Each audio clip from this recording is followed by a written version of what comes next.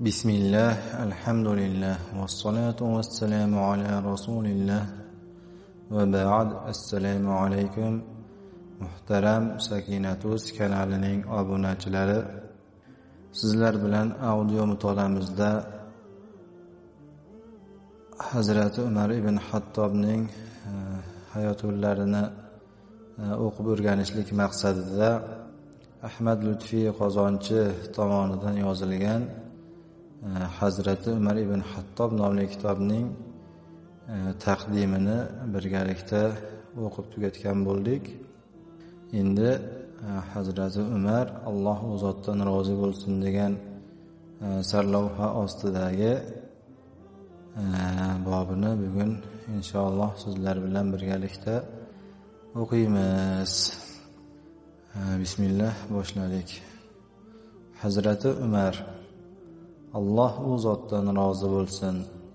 Suyunchi o'g'il ko'rding arslondek. Bu xushxabardan hattob ibn nufaylning ko'zlarida quvonch porladi. Qahrli yuziga tabassum yugurdi. Asosiysi bir necha oydan beri ichida ilon kabi to'lg'onayotgan shubhalarni tarqatib yubordi. Har zamon qiz bo'lsachi? degan fikr miyasiga urilar peshonasidan terlar chiqar edi. Tundlashib mushtlari tugilar edi. Sababi bu vaqtlarda qizning qadri yo'q edi. Shuning uchun qiz ko'rganda erlarning kayfiyati buzilardi. Qiz farzand haqida xabar eshitgan odam o'zini qo'yishga joy topolmas insonlarning ko'ziga qaray olmas edi. Hattob ham shu jamiyatda yashagani bois ungada bu odatlar begona emasdi. Chaqaloqqa umar deb ism qo'yishdi. Makkaning keskin ob havosi otasining qattiqqo'lligi uning qoya kabi mustahkam bo'lishiga zamin hozirladi. Makkadagi okir tog'i unga keyinchalik jabal umar umar tog'i deb nom berilgan. Shu okir tog'i etagida yashaydigan ali qabilasining odamlari kun sayin o'sib borayotgan bolani ko'rib xuddi otasi hattobning o'ziya deyishdan charchamasdilar. Bolaligidanoq shijoatli jasur va dovyurakligi tufayli abu hafs arslonning otasi ya'ni erkak arslon laqabini olgan edi. Umar chapaqay bo'lishiga qaramay o'ng qo'lini ham erkin ishlata olardi. Yoshligini cho'ponlik bilan o'tkazdi. Erta tongdanu u o'tloqdan bu o'tloqqa choparkan yod olgan she'rlarini hirgoya qilib yurardi. Gohida hattobning shafqatsiz zarbalari gardaniga ham tushib qolardi. Bolakay kurashga qiziqdi. Gohida o'rtoqlari bilan olishib davrani g'olib sifatida tark etarkan hayotining eng baxtli lahzalarini o'tkazayotganini his qilardi. Har yili makka va toif shaharlari o'rtasida ukoz bozorida uyushtiriladigan bahodirlar musobaqasida ham qatnashib turardi. Lekin har doim ham g'alaba nasib qilavermasdi.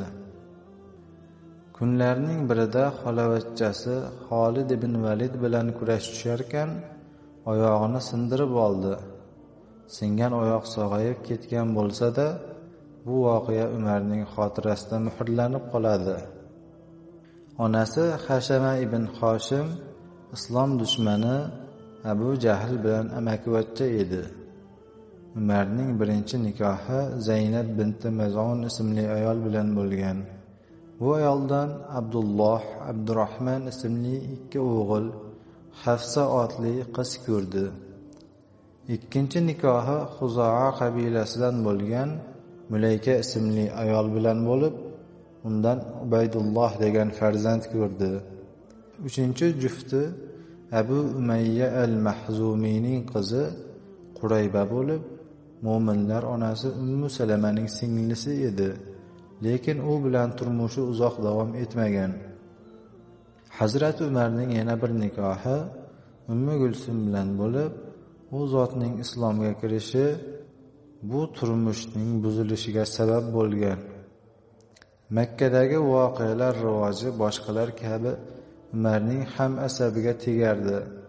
Hoshim avlodidan bo'lgan abdulmuttolibning nevarasi muhammad ibn abdulloh islom deb atalgan yangi dinni tarqata boshlashi bilan bir guruh odam ota bobolarining dinidan yuz o'girib butlardan voz kechgan va ularga nisbatan hurmatsizlik qilayotgan edi.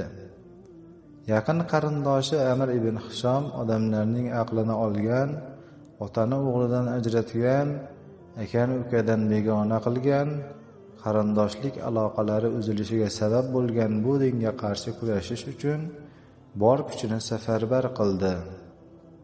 Umar ham o'zini ushbu ishga javobgarlardan biri hisoblab kurashga qo'shildi.